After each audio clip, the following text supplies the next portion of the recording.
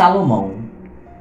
Salomão foi rei de Israel entre os anos de 1970 e 930 a.C.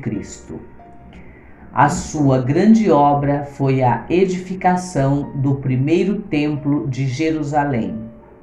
Salomão, cujo nome vem do hebraico Shalom, que significa paz, era filho de Batsébia e Davi, que reinou durante 40 anos as doze tribos que formavam o povo hebreu e que se reuniram na região da Palestina. Os fatos de sua vida estão narrados em livros bíblicos como em 1 Reis e 2 Crônicas. Salomão, rei de Israel. Depois da morte de Davi, seu filho Salomão substituiu o trono com apenas 20 anos de idade, ungido rei pelo sumo sacerdote. Apesar de sua juventude, era um sábio conhecido e respeitado em todo o reino. Diz a Bíblia que seu coração era cheio de sabedoria que Deus concedeu a Salomão sabedoria, sabedoria e inteligência extraordinárias. Salomão herdou de seu pai um extenso reino que ia do rio Eufrates até a fronteira egípcia.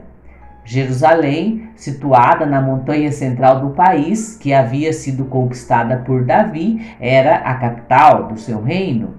Salomão criou uma administração unitária na desértica região do Neguei, organizou a exploração de uma mina de cobre. Suas ruínas foram encontradas por arqueólogos. Na margem do Mar Morto, explorava a existência do sal, promoveu o comércio de cavalos entre a Cilícia e o Egito, introduziu, a, o, introduziu no exército os carros puxados a cavalos e estabeleceu uma rede de transportes.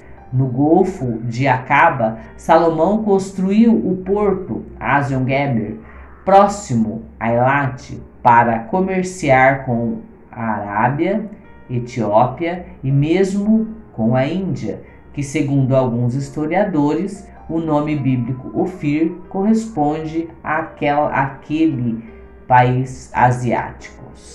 Alguns arqueólogos encontraram ruínas do porto de Salomão na costa do Golfo de Acaba, conforme diz a Bíblia, que dá a Israel de hoje o acesso marítimo à África e à Ásia.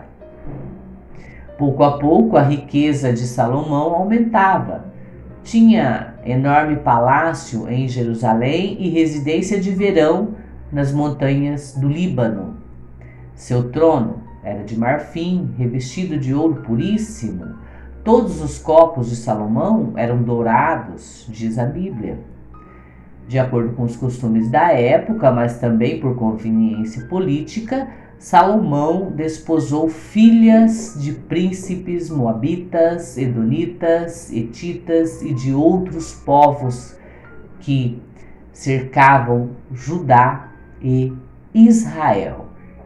Salomão que reinou entre 970 e 930 a.C., de acordo com os livros de reis, chegou a ter 700 esposas princesas e 300 concubinas. Salomão e sua sabedoria. O que o rei Salomão pediu para Deus? Salomão pediu apenas sabedoria e conhecimento. Ele ensina que a esperança adiada deixa doente o coração, mas o desejo realizado é como a árvore da vida. Provérbios 13, 12. Salomão não pedia bens ou riquezas, ele pedia um coração entendido, pedia sabedoria e conhecimento. E o texto bíblico diz que Deus deu a ele um coração sábio. Isso significa que ele colocava a intuição e a razão acima das emoções e dos instintos. Ele compreendia os mistérios da mente humana como ninguém. Apesar de jovem, Salomão era um sábio conhecido e respeitado por toda a região. Até as terras mais distantes vinham nobres e príncipes em busca do conselho de Salomão. Diz a Bíblia que, de fato, pronunciou três mil sentenças e que ele tratava com a mesma igualdade os seus súditos e os estrangeiros, os ricos e os pobres, os que louvavam a Javé, Deus onipresente dos judeus. Entre as visitas famosas, conta-se a da rainha de Sabá. Supõe os historiadores que ela reinava uma região africana nas margens do Mar Vermelho.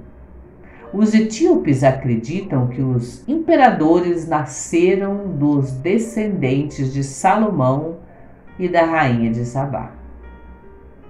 São estimados em 1005 os cânticos escritos pelo rei Salomão.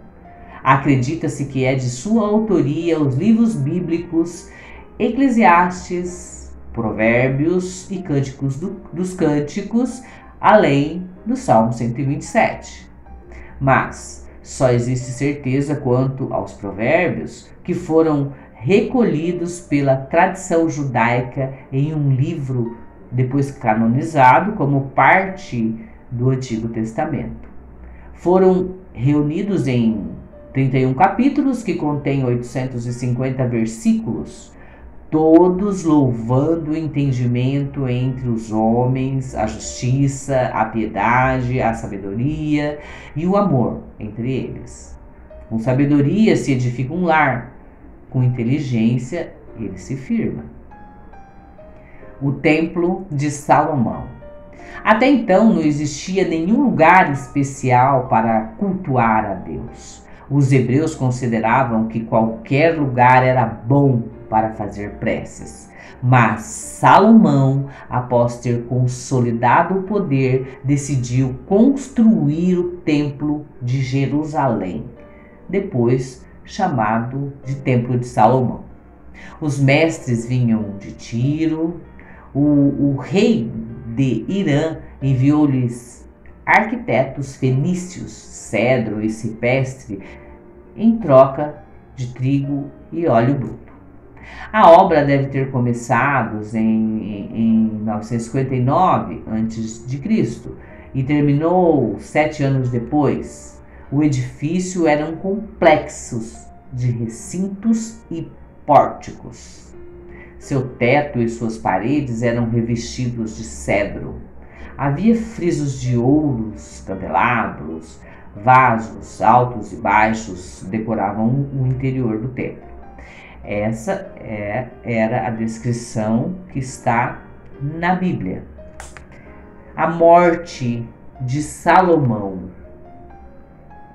Salomão faleceu em Jerusalém, provavelmente em 930 a.C. Após sua morte, a Palestina se dividiu em dois reinos.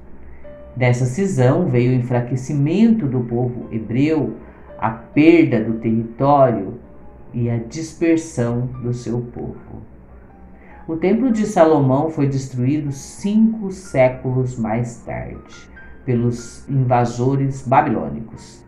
Reconstruído, foi arrasado novamente no ano 70 da era cristã pelas legiões romanas. Dele sobrou, até os nossos dias, apenas uma muralha que os judeus veneram e chamam de Muro das Lamentações.